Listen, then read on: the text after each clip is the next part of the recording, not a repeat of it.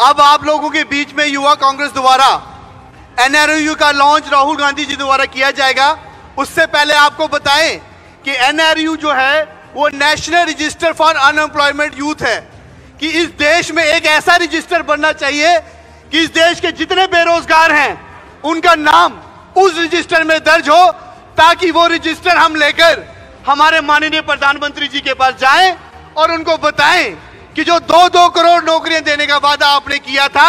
आज उस नौकरियों में, आज कोई युवा को नौकरी नहीं मिली है वो अपने आप को बे, बेरोजगार है आज वो, और उसको रोज़गार दिया जाए।